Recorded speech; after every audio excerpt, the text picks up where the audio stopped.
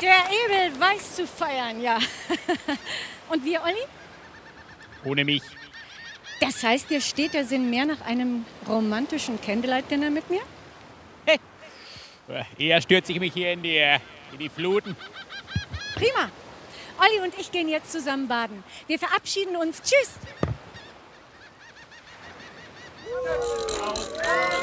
Ja, guten Abend und Ihnen allen ein herzliches Willkommen. Danke, danke. Ja, jetzt ist es aber auch mal gut. Ich freue mich sehr auf Wetten das mit Johannes B. Kerner. Johannes, auf mit dem Theater. Wird putzen, verdammt. Ja, ja, ja.